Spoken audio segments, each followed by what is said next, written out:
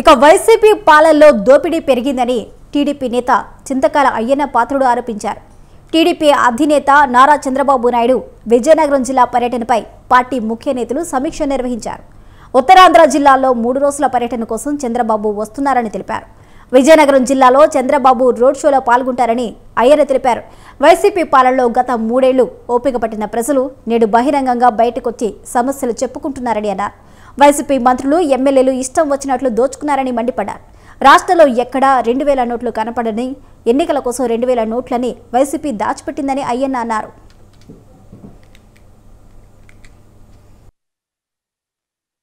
కూడా అన్ని వర్గాల ప్రజలకు కూడా అర్థమైంది పరిపాలన. ఇందా సోదరు చెప్పాడు ఒక పరకమ పరికమాల సన్నాసులు రాజ్యాన్ని వెళ్తే ఎలాగుంటుందో మనం చూస్తున్నాం ఇవాళ.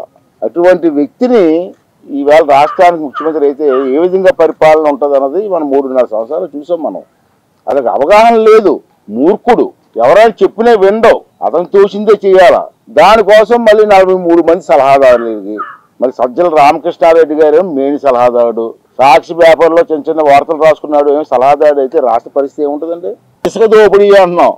అసలు ఇసుక దోపిడీ వల్ల ఎంత నష్టం జరుగుతుందో ఎవరు ఎవరు ఆలోచిస్తారా? జనం కూడా ఆలోచించిన పరిస్థితి ఉంది. మన విజయవాడ బ్యారేజ్ దగ్గరికి వెళ్తే కృష్ణా బ్యారేజ్ దగ్గరికి రోజుకి వెయ్యి లారీలు ఇసుక తెలంగాణ వెళ్ళిపోతుంది. తెలంగాణ మన రాష్ట్రం కాదు మళ్ళీ.